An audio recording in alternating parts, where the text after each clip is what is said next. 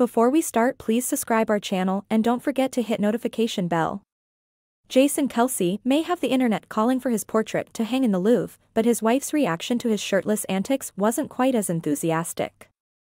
On Wednesday's episode of New Heights with Jason and Travis Kelce, the brothers debriefed Sunday's exciting playoff game, which saw the Kansas City Chiefs defeat the Buffalo Bills to secure a spot in the AFC Championship, and Jason gave fans what they really wanted a breakdown of his shirtless moment at Highmark Stadium. I wanted to take everything off and be out there with the fans, he revealed of his mindset on Sunday. I don't know if I'm wrong in my head, but I feel like taking your shirt off is a Buffalo Bills thing, right? Travis agreed, with Jason, 36, adding that he wanted the full experience. His wife, Kylie Kelce, who was also in attendance at the game, wasn't quite as thrilled with the show Jason put on, though.